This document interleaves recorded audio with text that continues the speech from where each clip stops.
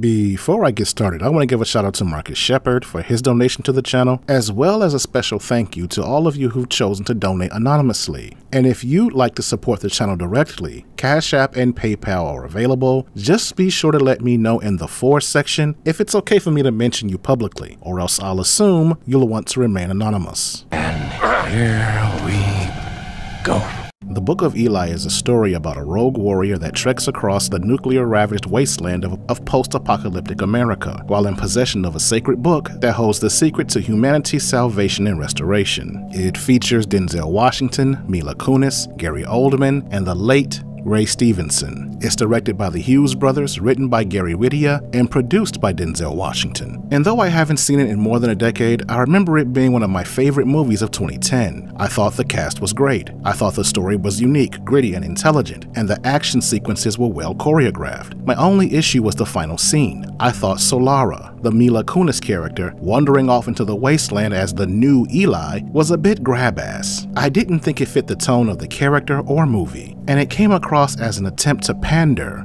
to the women's empowerment crowd. But as much as I loved the story, it never felt complete. It always seemed like it was more to it, like it was the conclusion to a long running series. And I was disappointed when I found out that it wasn't an adaptation, that it was an original screen written concept, which meant there was no origin story, no explanation of what happened. So the movie, though good, was a bit unsatisfying. And that's why I was excited when I heard the news that a prequel series was being produced that will apparently take place 30 years prior to the events of the movie, and that John Boyega is being cast as the new, younger Eli, in place of Denzel Washington.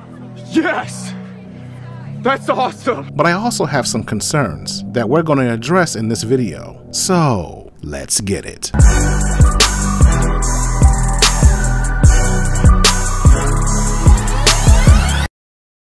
The first time that I was introduced to John Boyega was in the Star Wars sequels, the ones featuring Rey. And needless to say, I didn't like him as an actor. And I believe that was largely due to how much I hated those sequels. But all of that changed when I saw him in the lead role in the movie Breaking. And if you haven't seen that movie, check it out, it's well worth your time. And I even liked him in The Woman King, though the movie was he was good in it. So yes, I think he's a perfect casting for a Book of Eli prequel series. However, I can't help but feel a bit apprehensive about the series itself. You see, the Book of Eli was released in 2010, six years prior to this woke, DEI inspired era of filmmaking. And since then, everything being made, especially the prequels and remakes, are retrofitted for, quote, modern audiences, which is code for Put a chick in it, make her gay!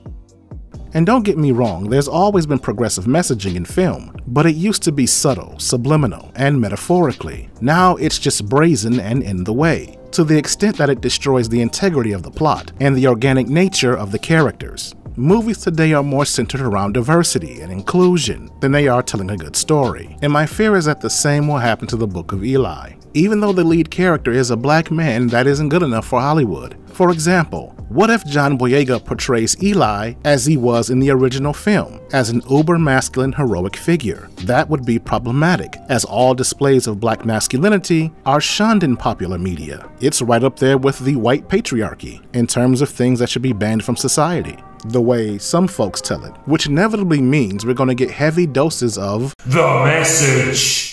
Shout out to the critical drinker. But yeah, there are going to be lectures and lessons on male privilege, as well as an example of female dominance. That's just the standard practice in today's American entertainment media. But we'll see, and I'll try to remain optimistic, as the series is in the beginning stages of production, and we won't likely see anything for another two years. But fingers crossed, I hope they don't mess it up. So I'm going to end things right here, but before I do, please be sure to check out the other videos in my library, as I'm sure there's something there you'll enjoy. And if you like this video, please share the link on your social media platforms. I cannot stress enough how far that goes into helping me grow the channel. And that's it. That's all I have to say about it. What do you have to say about it? Leave a comment in the comment section and let's have a conversation.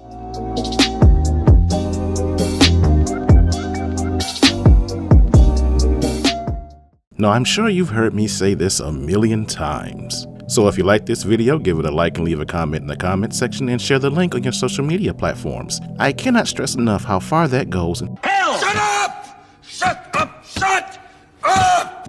And while I do appreciate you liking, sharing, subbing, and leaving comments, I'm going to ask that you help me go another step further in helping me grow the channel. I set up a membership program for those of you who'd like to offer additional support in the development of this channel. It's not anything expensive or special, it's just 99 cents a month, which is enough for me to continue doing the work that I do here.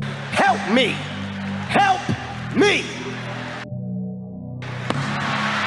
Help me! In the future, there will be additional tiers with added benefits, but right now I need your support so I can cover basic costs. So please, sign up so I can continue giving you awesome content. This is the Layman's Journal. I'm out.